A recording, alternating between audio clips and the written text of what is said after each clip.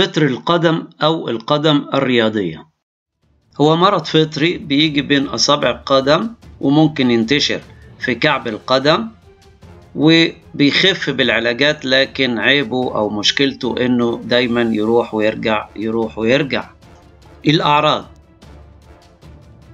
بقع بيضة بين أصابع الرجل.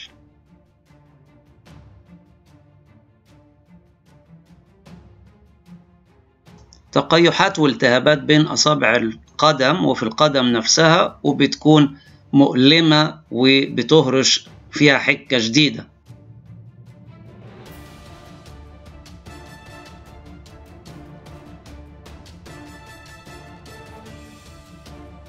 ممكن تصيب كعب القدم وممكن توصل للأظافر وتصبح مشكلة لأنها بتبقى مزمنة في هذه الحالة. وده أحد أسباب إنها دايما ترجع.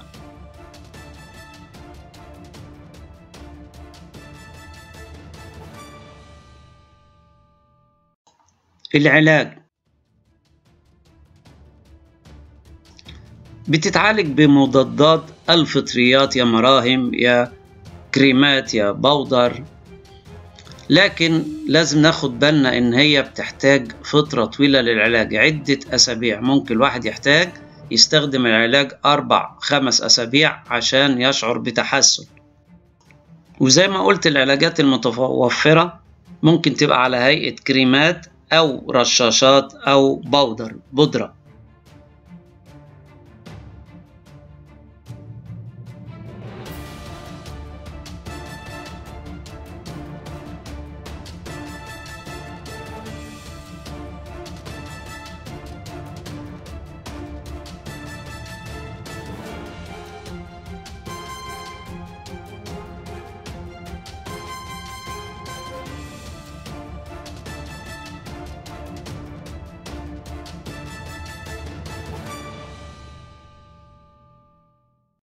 السلام عليكم. زي ما شفتوا كده في الفيديو اللي فات كنا بنتكلم عن الفطريات القدم أو اثليتس فيت.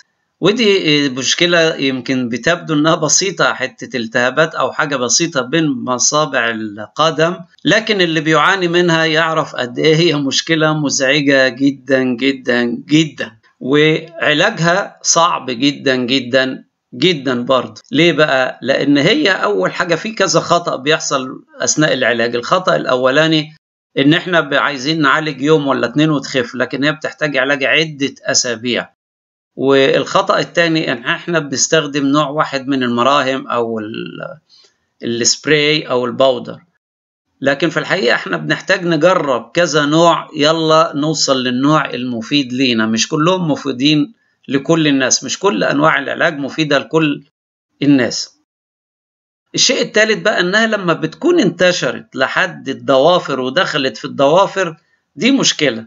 هي بتخف والجلد بيخف بين الصوابع بيخف لكن بيتنتوا الفطر موجود في الاظافر يرجع بعد شوية.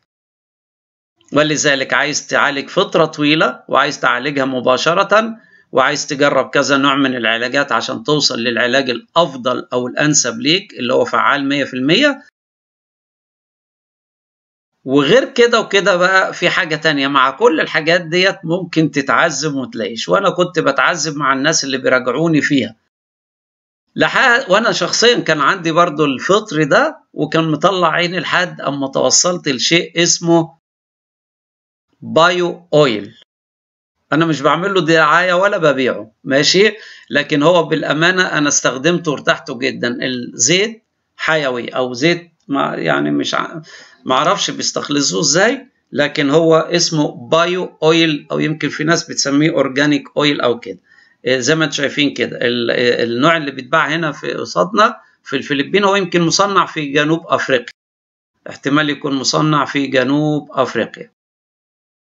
الاسم بتاعه اللي يحب يعني يبقى يدور عليه لأن بالأمانة دي يعني نصيحة كده لوجه الله عشان الناس اللي بتتعذب ال ال الأويل ده تحطه على صباعك وتحطه بين صوابع رجليك فعلا فعلا الاعراض بتنتهي خلال على طول.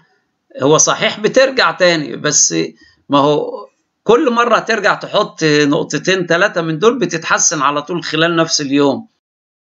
لكن الأول كان الإنسان يحط المرام وكده تنها أربع خمس ست أيام على ما يبتدي يشعر بتحسن وعلى ما يتحسن يمكن تاخد أسبوعين ثلاثة لكن ده مجرد ما بتحط نقطتين ثلاثة البايو أويل ده فعلا بتتحسن. ودي بقى إيه مش كدكتور هلال لا دي دي حاجة ك كمستخدم وكمريض وبقولها لكم كده لوجه الله.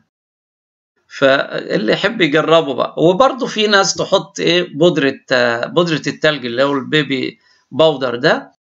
بس دي عيبها طبعا لما ممكن بين أصابع الرجل وبتنشف بتبقى خشنة تهيج الجرح أكتر. لكن لما الواحد رجله تكون خلاص قربت تخف وما تكونش ملتهبة قوي ممكن يستخدم هذا ال Johnson powder ديت ولا البودرة آه على أساس البودرة بتخلي ما بين الصوابع جافة. طبعا ما تنسوش إن إحنا لما بنغسل صوابع رجلينا لازم ننشفها كويس بفوطة ناعمة ما تكونش خشنة. والسلام عليكم ورحمة الله وبركاته.